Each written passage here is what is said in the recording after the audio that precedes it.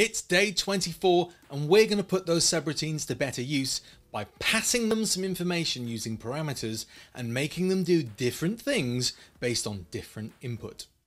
So far you might have been a bit underwhelmed with subroutines. They're just bits of code that are like recipes, but when I talked to you about those I did say that recipes can have ingredients and if you change the ingredients of a recipe you get a different kind of cake, which I'm all for. But we haven't yet achieved that same thing with our subroutine. So how do we do it?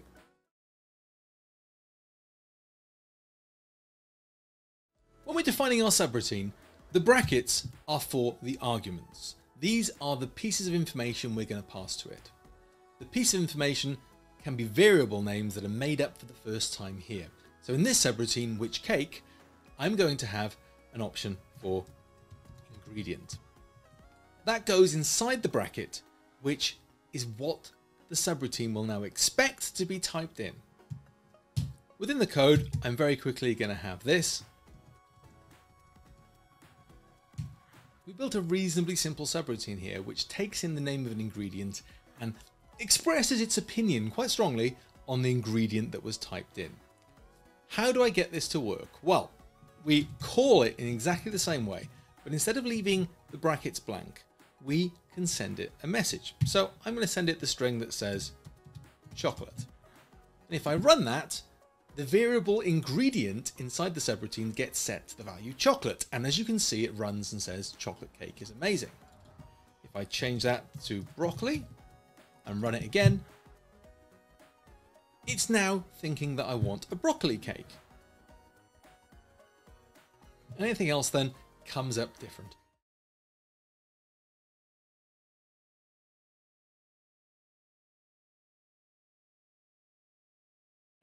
I can put all of those into my code if I want, running with different arguments. But I don't just need to have one single argument. I can have as many arguments as I want. In fact, all I need to do within the brackets of the definition is add a comma in and create more variables.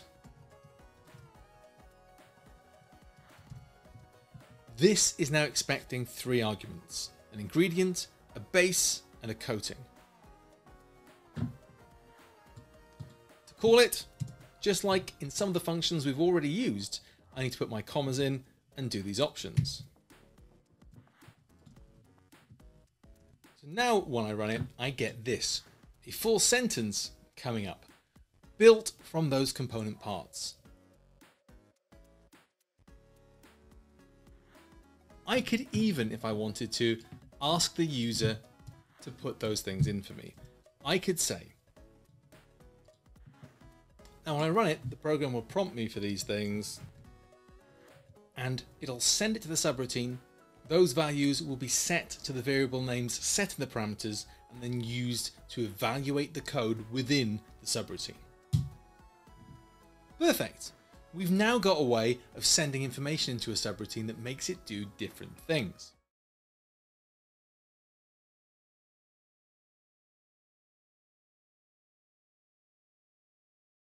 What are the common problems with adding parameters to a subroutine then? Well, here's one, and let's run it and see what it doesn't like. Well, invalid syntax again, but why? We've got two options in the subroutine, but nothing's being called. And hopefully, if you pause it, you'll spot the problem.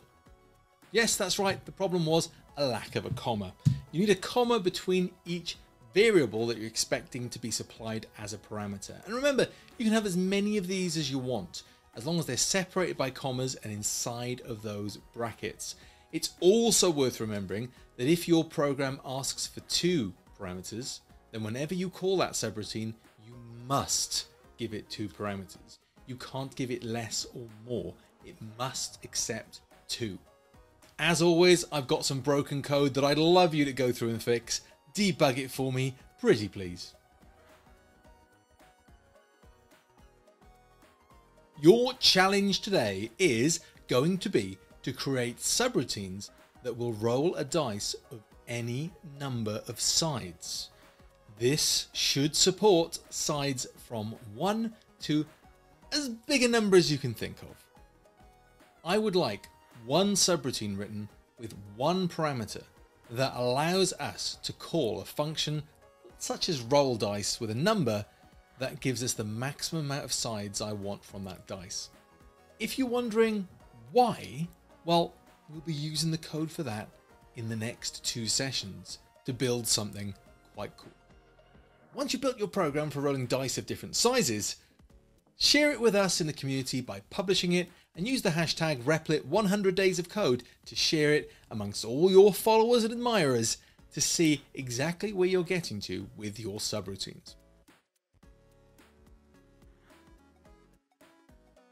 Now tomorrow we're going to look at sending some data back to the original code. This is called a return and will allow us to send information back that can be used by other code.